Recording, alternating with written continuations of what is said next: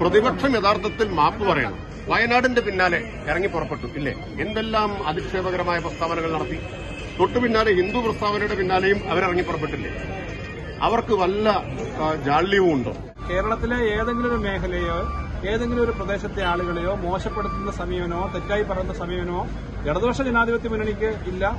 മുഖ്യമന്ത്രി ആയാലും മന്ത്രിമാരായാലും ഇടതുപക്ഷത്തിന്റെ നേതാക്കന്മാരായാലും അങ്ങനെ പറയുന്ന പ്രശ്നമേ ഇല്ല എന്ന് പറഞ്ഞാൽ അവിടെ ആ കാര്യം അവസാനിക്കുന്നു. മുഖ്യമന്ത്രിയുടെ അഭിമുഖ വിവാദവും പി ആർ ഏജൻസിയുടെ ഇടപെടലുമായി ബന്ധപ്പെട്ട വിവാദങ്ങളിൽ പ്രതികരിച്ച മന്ത്രിമാർ. വിവാദങ്ങൾ പടച്ചുവിടുന്നത് പ്രതിപക്ഷമാണെന്ന് മന്ത്രി എം ബി രാജേഷ് പറഞ്ഞു. പ്രതിപക്ഷം മാപ്പ് പറയണമെന്നും എം ബി രാജേഷ് ആവശ്യപ്പെട്ടു.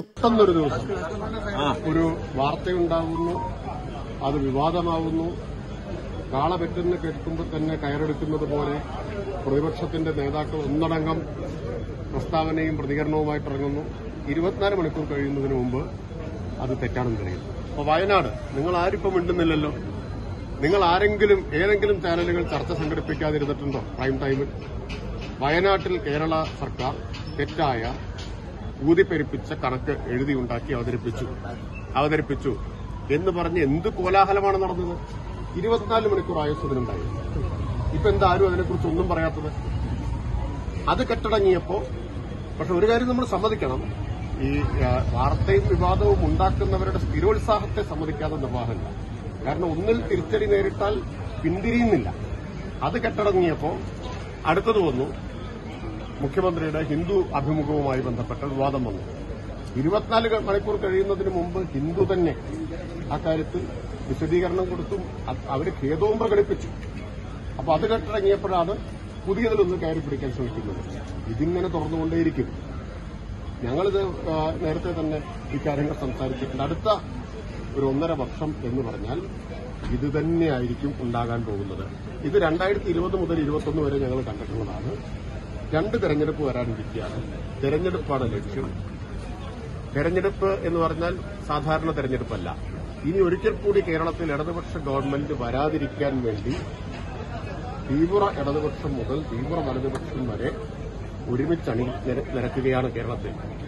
ഈ അപവാദ കഥകൾ വിവാദങ്ങൾ ഇത് അക്ഷീണം ഇപ്പൊ ഞാൻ പറഞ്ഞില്ല. ഒന്ന് പൊളിഞ്ഞാൽ ക്ഷീണിച്ച് പിന്മാറാതെ അക്ഷീണം തുടരുക തന്നെ ചെയ്യും. ഞങ്ങൾ അതിനെ നേരിടാൻ സജ്ജരുമാണ്. രാഷ്ട്രീയമായിട്ട് പ്രതിപക്ഷം യഥാർത്ഥത്തിൽ മാപ്പ് പറയണം. വയനാടിന്റെ പിന്നാലെ ഇറങ്ങി പുറപ്പെട്ടു ഇല്ലേ? എന്തെല്ലാം അധിക്ഷേപകരമായ പ്രസ്താവനകൾ നടത്തി? തൊട്ടു പിന്നാലെ ഹിന്ദു പ്രസ്താവനയുടെ പിന്നാലെയും അവരിറങ്ങി പുറപ്പെട്ടില്ലേ? അവർക്ക് വല്ല ജാള്യവും ഉണ്ടോ?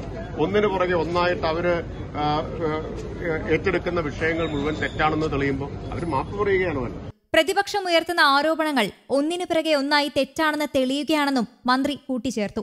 കേരളത്തിലെ ഏതെങ്കിലും ഒരു പ്രദേശത്തെയോ അവിടുത്തെ ജനങ്ങളെയോ മോശപ്പെടുത്തി സംസാരിക്കുന്ന സമീപനം ഇടതുപക്ഷത്തിനില്ല എന്ന് മന്ത്രി കെ എൻ ബാലഗോപാലും വ്യക്തമാക്കി.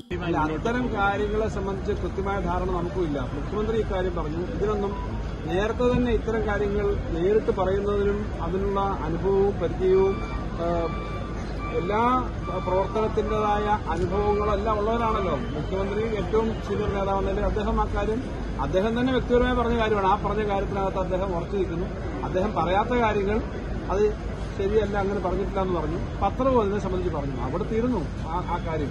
ഈ ഇത് സംബന്ധിച്ച് വളരെ വിശദമായിട്ട് പറയേണ്ട കാര്യമില്ല. ഇന്നലെ കോഴിക്കോട് പൊതുയോഗത്തിൽ തന്നെ മുഖ്യമന്ത്രി ഇത് സംബന്ധിച്ച് പറഞ്ഞു. തെറ്റായ ഒരു കാര്യം പ്രചരിപ്പിക്കാനുള്ള അല്ലെങ്കിൽ വാർത്ത വന്നു. അതിനടിസ്ഥാനത്തിൽ സംസ്ഥാനത്താകെ പ്രചരിപ്പിക്കാനുള്ള ശ്രമം നടന്നു. അത് വസ്തുതയല്ല. അങ്ങനെ ഒരു സമീപനമില്ല. എന്ന് മാത്രമല്ല നേരത്തെ അദ്ദേഹം പത്രസമ്മേളനത്തിൽ പറഞ്ഞിട്ടുള്ള കാര്യവും ഇപ്പൊ പറഞ്ഞിട്ടുള്ള കാര്യവും ഒന്ന് തന്നെയാണെന്ന് എന്ന് ആ പത്രം തന്നെ പറയുകയും ചെയ്യുന്നു.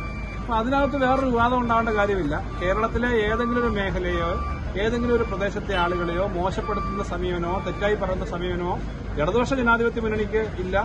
മുഖ്യമന്ത്രി ആയാലും മന്ത്രിമാരായാലും ഇടതുപക്ഷത്തിന്റെ നേതാക്കന്മാരായാലും അങ്ങനെ പറയുന്ന പ്രശ്നമേ ഇല്ല എന്ന് പറഞ്ഞാൽ അവിടെ ആ കാര്യം അവസാനിക്കുന്നുള്ളൂ ഏതായാലും ആ കാര്യം വന്നു കഴിഞ്ഞു കൃത്യമായി പറഞ്ഞു കഴിഞ്ഞു എന്നുള്ളത് കൊണ്ട് അതിനെ സംബന്ധിച്ചൊരു വിവാദം തുടരുന്നതിന് അർത്ഥമേ ഇല്ല.